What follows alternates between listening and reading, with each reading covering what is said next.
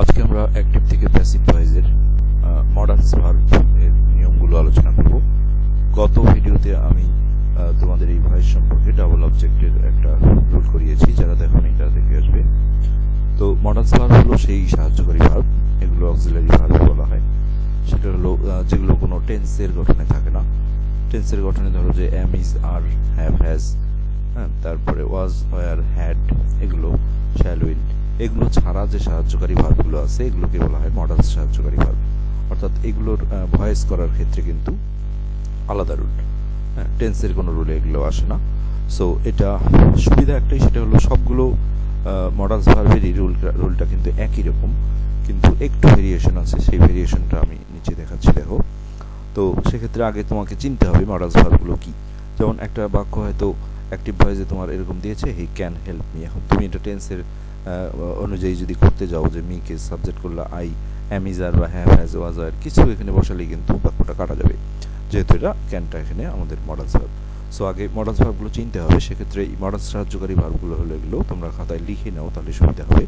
Can could may might should would must R going to এটা সম্পর্কে আমি পরে বলছি। আপাতত লেখো যে হ্যাঁ এটা মডালস ভার্ব আর এদিকে have to has to am to is to are to was to were to had to ought to ought to মানে আসলে শুডের মতোই, এটা মানে উচিত এরকম মিনিং করে এটিসি তো এই ভার্বের প্যাসিভগুলো করার ক্ষেত্রে আমরা যেটা মনে রাখব সেটা হলো, এটা টেন্সের মধ্যে পড়বে না, সেক্ষেত্রে এটা সবগুলোতেই অতিরিক্ত একটা করে বি বসাইতে হবে প্যাসিভ করার সময়। যেমন দেখো উদাহরণ দিলে ক্লিয়ার হওয়া আর সবচেয়ে মজার ব্যাপার হলো যে মডালস ভার্বটা থাকবে প্যাসিভ করার সময় সেটি বসবে। কিন্তু একটু ভেরিয়েশন আছে, সেটা আমি নিচে আস্তে আস্তে আসছি। যেমন হি ক্যান হেল্প মি ধরো যে এই যে can could may might should would must হ্যাঁ এগুলোর ক্ষেত্রে একদম অবিকল হ্যাঁ যেটা থাকবে অ্যাক্টিভে সেটাই বসবে। তার সাথে একটা করে কি বি বসাইতে হবে। আমি অতগুলো উদাহরণ দিইনি, এখানে ক্যানের আর মাস্টের দুটো দেখিয়েছি। সো দেখো মিটা সাবজেক্ট হয়ে আসলো আই আর ক্যান ক্যানই থাকল, আর অতিরিক্ত একটা বি বসাতে হলো। তারপরেই ভার্বের ফার্স্ট পার্টিসিপাল ফর্ম তারপরে বাই দিয়া সাবজেক্টটা হি ছিল, এটা হিম অবজেক্ট হয়ে গেল। আবার মাস্ট দিয়ে দেখিয়েছি। We must listen to our parents আমাদের অবশ্যই কি? আমাদের বাবা মাদের কথা শুনতে হবে। তাহলে সাবজেক্ট হয়ে আসলো আওয়ার প্যারেন্টস আর মাস্ট মাস্টই থাকল। অতিরিক্ত একটা বি বসাইতে হলো, আর লিসেনের ফার্স্ট পার্টিসিপাল লিসেন্ট তারপরে টুটা থেকেই যায় ক্ষেত্রে টু তারপরে বাই ওইটা সাবজেক্ট ছিল, এটা আস হয়ে গেল। আর ওই যে যেটা বলছিলাম গোয়িং টুর ক্ষেত্রে এখানে দেখো একটাই আইএনজিএলা ফর্ম আছে গোয়িং টু এটাও কিন্তু স্পেশালি মডালস ভার্ব কেননা এটা এই গোয়িং টু দিয়ে যখন কোনো অ্যাক্টিভের বাক্য আসে, তখন অনেকেই এটাকে প্রেজেন্ট কন্টিনিউয়াস টেন্স ভেবে, অথবা এখানে কখনো ওয়াজ আরও থাকে গোয়িং টুর আগে, সেক্ষেত্রে পাস্ট কন্টিনিউয়াস ভেবে প্যাসিভ করার সময় কিন্তু বিইং বসায়। সো এটা চরম ভুল। এটা তোমাকে মনে রাখতে হবে যে গোয়িং টু একটা মডালস ভার্ব ক্যান গুডের মতোই। সো এখানে মডালস ভার্বের নিয়মে হবে। যেমন, এ সবটা দেখো অবজেক্টে ছিল সাবজেক্ট হয়ে আসলো। তারপরে একটা ইজ এটা থাকবেই। কিন্তু আমি এখানে দুইটা বাক্য দেখিয়েছি, নিচের বাক্যটা দেখো টু শপস আছে। যখন এই টু শপসটা সাবজেক্ট হয়ে আসবে, তখন কিন্তু এই জায়গাটায় বোঝাই যাচ্ছে টু শপস যেহেতু বহু বচন এর সাথে কিন্তু আর হবে। আর দেখো, এখানে খেয়াল করে দেখো যে আমরা কোনো বিইং ইউজ করিনি। আর বা এখানে ইজ দেওয়ার পরেই গোয়িং টু ক্যানকুডের মতোই, যে মাস্টের মতোই, সেক্ষেত্রে ওই গোয়িং টু গোয়িং টুই রেখেছি, কোনো বিইং ইউজ করিনি। অতিরিক্ত একটা বি দিতে হয় বি দিয়ে তারপর এই পাস্ট পার্টিসিপলটা হবে কিন্তু এই যে টু এর পরে যে ভার্বটা থাকে এখানে ওপেন অনেকে যেটা ভুল করে সেটা হলো এদিকে গো এন গান করে দেয়। মানে বিশ্রী একটা অবস্থা। কিন্তু এটা আসলে কি? এটা গোয়িং টু স্পেশাল হ্যাঁ মডেলস ভার্ব সেক্ষেত্রে গোয়িং টুর কোনো চেঞ্জ হবে না। আর ওপেন পাস্ট পার্টিসিপল হয়ে গেল, তারপরে বাই হিম আর এখানে যখনই অবজেক্টটা দেখো বহু বহুবচন ছিল টু শপস তাহলে সেক্ষেত্রে কিন্তু যখন এটা টু শপস সাবজেক্ট হয়ে আসলো, তারপরে আর বসল। আবার এই প্রদত্ত বাক্যটা যদি তোমার ওয়াজ দিয়ে দেওয়া থাকে এই বাক্যটাই হ্যাঁ তাহলে সেক্ষেত্রে টু শপসটা সাবজেক্ট হয়ে আসলে তাহলে কি অয়ার বসবে? এটা যে সবসময় চেঞ্জ হবে তা না, আগের বাক্যই দেখো চেঞ্জ হয়নি যে অবজেক্টটা ছিল সিঙ্গুলার এক বচন এসব। সেক্ষেত্রে কিন্তু এখানে আমরা আর ইউজ করিনি ইজি বসিয়েছি। আর গোয়িং টু মডালস ভার্ব হিসেবে বসিয়ে তারপর একটা বি বসিয়ে ভার্ব পাস্ট পার্টিসিপল দিয়ে ভয়েসটা শেষ করেছি।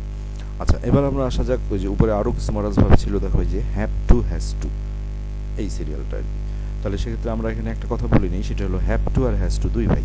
আর এদিকে am is R R to এরা তিন ভাই একসাথে। আর ওয়াজ টু আর টু দুই ভাই হ্যাড টু এক বাপের হ্যাক বেটা শুনতে খারাপ লাগল এটা, আর আউট টু তো একাই। সেক্ষেত্রে এটা কেন বলছি দেখো, যখন একটা বাক্য আমাকে এরকম হ্যাভ টু দিয়ে দিবে I have to do the work তাই না? এক নম্বর কথা তুমি মডেলসটাকে চিনতে হবে হ্যাঁ হ্যাভ টু মডেলস তারপরে দ্য ওয়ার্কটাকে তুমি সাবজেক্ট করে নিয়ে আসলাম এখন ভাই, এই জন্যই বলেছিলাম যে, যখনই দা ভয়েসে যেহেতু সাবজেক্টগুলো চেঞ্জ হয়ে যায়, এই যে অবজেক্টটা ছিল, দেখো দা ওয়ার্ক এটা সাবজেক্ট হয়ে আসলো, এটা সিঙ্গুলার একটা জিনিস। সো সিঙ্গুলার সাবজেক্টের সাথে কিন্তু কখনো আমরা হ্যাজ মানে হ্যাভ ইউজ করতে পারি না হ্যাজ বসাইতে হয়। এই জন্য ভাই হিসেবে এখানে হ্যাজ টু আসলো। আর যেহেতু এটা মারাজ ভার্ব আগে বলা হয়েছে, তাহলে অতিরিক্ত একটা বি দিতে হবে। আর পাস পার্টিসিপল হবে যে ডু ভার্বটার ডান হয়ে গেল, তারপরে বাই আর এই পরের বাক্যটা দেখো, খেয়াল করে। এখানে আমি দিচ্ছি he has to do the work ঠিক না?